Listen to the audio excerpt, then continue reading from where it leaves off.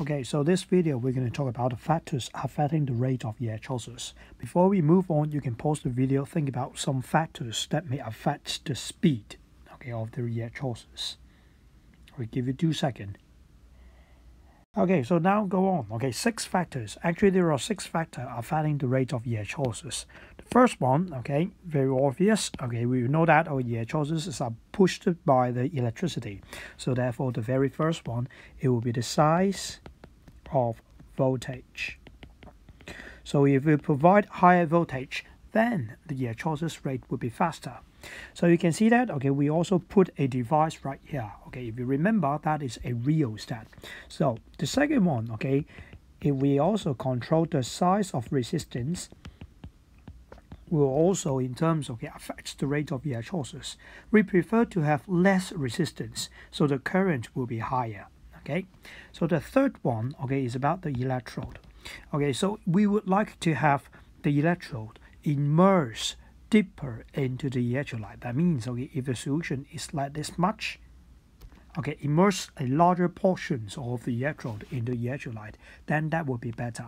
So the third one would be the depth of electrode immerse into the electrolyte.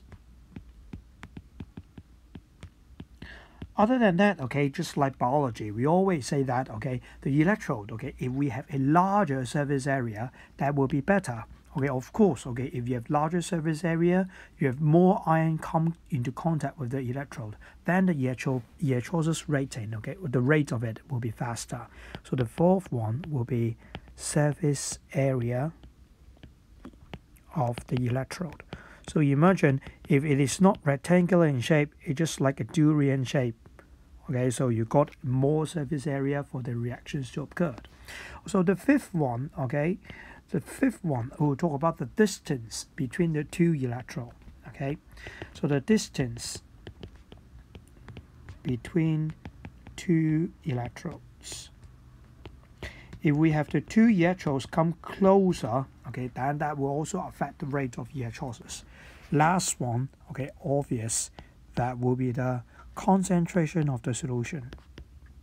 So if you have a more concentrated solutions, the reaction will be definitely faster. So this video, it doesn't include any conclusion because you can see this diagram, okay, with six factors affecting the choices It's not listed in the textbook, okay, but I also want you to realize that the rate of your choices will depends on certain different kind of things.